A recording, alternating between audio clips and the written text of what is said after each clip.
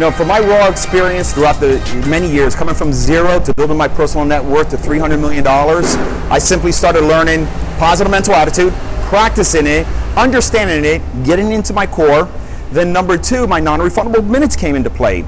How much were they worth? After I was sold on my non-refundable minutes and I completely understood the value of a minute if leveraged correctly, then the most important thing started happening. Today, you need to attack. What I did was I attacked just for those 24 hours. I didn't think about the next 24 hours. I wasn't 72 or 72 hours out. I was all about today. So you need to focus. This information I'm giving to you, and I can explain it later in, in, in other type of videos. Attack today at the stage you're at today. So much information is out there, but I, I challenge you.